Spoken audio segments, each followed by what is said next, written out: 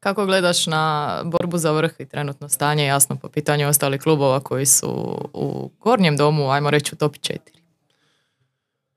Pa eto, ovaj, e, svaki klub ima nešto svoje. Hajduk ima sad tu neku euforiju i kvalitetu, imaju i kvalitetu.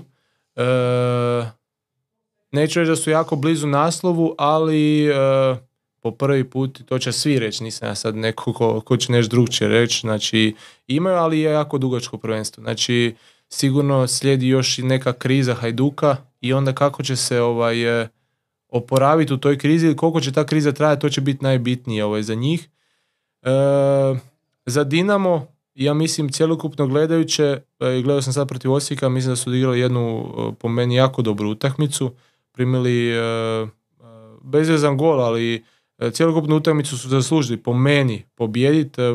Nije da Osijek nije imao svoje šanse, Zagorac je obranio prvo poluvreme Jan Zicer, drugo poluvreme je nogom dobro izreagirao, ali opet cjelokupno gledano Dinamo je onako mljeo, radio, radio, imao prilike drugo poluvreme posebno i trebali su završiti tu utakmicu na 1-0 za 2-0 zabiti i završiti tu utakmicu i to je bio kraj. Ovako su primili gol, hvala Bogu zabili su onda i pobjedili zbog uh, i trenera Jakirevića kojeg, kojeg jako dobro znam i koji me trenirao. Rijeka mi se jako sviđa kako igra, ovaj, e, mislim to je već od Jakera krenulo, sad je trener Sopić samo to držao.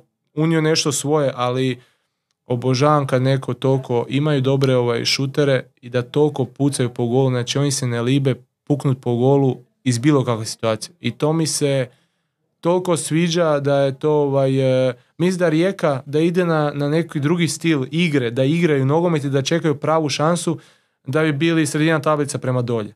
Ali kakvu kvalitetu imaju, oni ja mislim koriste to maksimalno. Od Fruka, Jankovića, uh, uh, ovog Pašalića sad, znači imaju takve igrače koji imaju takve šuteve, znači koristi to.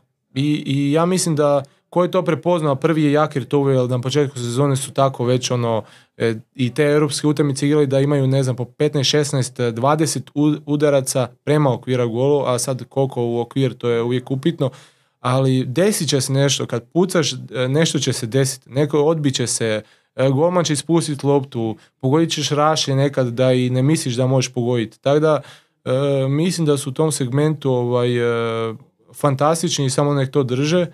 I to su glavna tri favorita po meni za, za osvajanje naslova. Dinamo još e, s moje strane cjelokupno gledajući mislim da ne može lošije od ovoga. Ne lošije, lošije. Rezultatski kad gledam kakav je prije bio Dinamo i to je jačina Dinama. Ne možeš lošije, a ako pobijediš ove dvije utakmice u kojem si za ostatku, imaš samo tri boda manje od Hajduka. Znači, to je ono što Dinamo ako uđe u svoju pravu formu drugu polusezonu, ako dovedu još dva, tri pojačanja i ako uđu, a oni su, to je taj mentalitet Dinama što oni imaju da oni mogu pobijediti deset za redom ako trebaju. A teško to neka druga momča treba. E, ja bi samo komparirao Rijeku i Dinamo. Rijeka igra najbolje moguće i tu su, a Dinamo svi će reći e, rezultatski možda ono, jedna od loših polusezona. Realno. Mhm. Ali po bodovima kad gledaš, o, ja mislim da su čak Rijeka i Dinamo izjednačeni možda ili nisu, ili možda Rijeka bod dva u prednosti ako gledamo ove dvije utakmice da se odigraju od Dinama. Tako da ovaj, e, Dinamo i dalje ima sve u svojim rukama, ako nastavi, ako se pojača, bit će to zanimljivo prvenstvo do kraja.